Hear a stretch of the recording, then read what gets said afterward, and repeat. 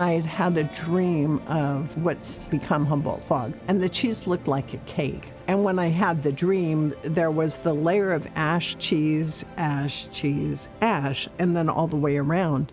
I just thought, I guess I'm supposed to make this cheese. So the ash really does affect the flavor. The pH balances out that acidic, bitey kind of thing. If you cut it straight down, that ash will kind of feather into the white cheese, and it really looks like the Humboldt County fog, which comes in in a huge bank across the ocean.